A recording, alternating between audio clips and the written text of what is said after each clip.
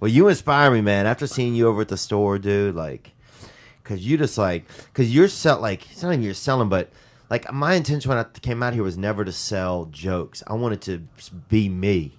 And then after I got caught up for a long time, I just, Everybody does. I thought like fuck, and then nobody likes me. I gotta I gotta fit in just like everybody else. Nope. But Nope. then I saw you at the store one night, dude, and that fucking music went off. I'm like, what is this going on, dude?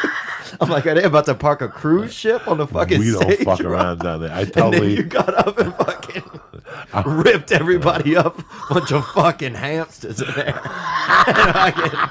You know, when you left, I was like, I am never not gonna be myself again. when you come out to Los Angeles and you're here three months or you're here two months and somebody's interested in you and they take you to lunch and then they sign you as a commercial agent or theatrical agent or a manager, doesn't matter. They're to send you out for an audition. For most people don't know that could be any audition, a commercial audition. And the first words out of your mouth, I don't give a fuck if you're classically trained, is I, I don't know what to do, or you're going to say something. And their response is going to be, be yourself. And you're like, thanks. and you hear that, guys, for fucking 15 years before one day you go, oh, I know what they want now. Yeah. I wasn't getting it. The whole time I'm here, I'm trying to be Doug Stanhope. I'm trying to be Paul Mooney. You're trying, and I'm not saying that. I'm just saying. Yeah, I know you you're not saying I wanna I'm- be a I'm trying to be Nick DiPaolo. I'm trying to be Yeah. Mitch Hedberg. What if people go home and go, "What if I could put Nick DiPaolo or Mitch Hedberg?" But the funniest character they're hiding is the character they're hiding Yeah. because that's the reason why they came out here is because of that fucking character that's gotten them through everything for 15 years. That voice Yeah.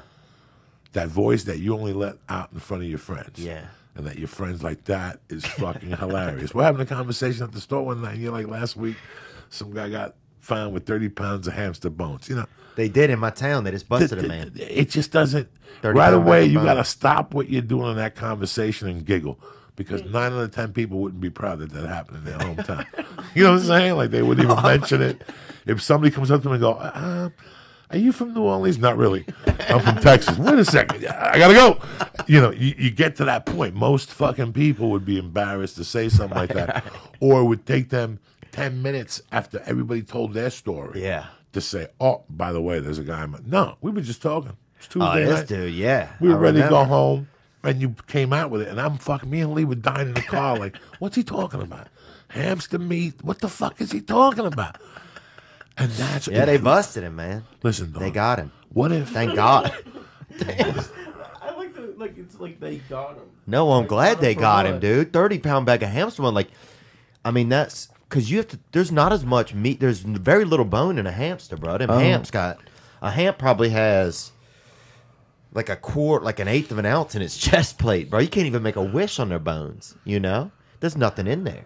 Where do you get all those hamsters from? That's it. Well, they breed them in our town. I used to work for this group. They used to sell tattooed hamsters and guinea pigs after. uh They tattoo them? Yeah, they used to brand them with concerts and raves. They would say it's tattooed just to make people not be as sad about it. But it was a brand, bro. A brand, bro. Of what? With like uh, heat and ink, bro. For what? Like what did it say? Uh, 311, Green Day, anything like of different bands that were coming to town. Toadies. That's Swear to God, up. bro. Toadies, Acid Bath. Uh, who else? Uh, Rave. Whatever, bro. We used to truck these hamps into the city and fucking Just... vend them, bro. we did, man. Because there wasn't much there wasn't much work in our town, dude. You know, you had to get what you could get, and they had a man that bred hamsters, and uh, and then they had to do the, the tattoos, and they fucking met up, and that was a merger. That's big business, you know. And they started uh, A merger. they started doing it. Man, I got me some 300 mouse in my house and shit. And some other guy's like, you know what, man? I'm a pretty good tattoo artist. That's Louisiana. And that's it. A merger is formed. That means someone listening to this right now has had a hamster with like a band label on it. Like, Who the fuck it- buys a hamster? Listen, if I went to a concert, do you think I'm bringing a hamster home with Fuck fucking yeah. ACDC? No, I'm not. No, I'm not. I'm gonna, about be, to rock. I'm gonna be fucked up the whole night with this hamster in my But when you leave, when you leave, Coco, when you leave the place, that's when we get you, bro. You get it. They're people are leaving. They're on ecstasy pills. They're on Molly. You leave. You get that fucking hams. You get that warm little piece of God in their hands. They buy it every time, You know, bro. I was on the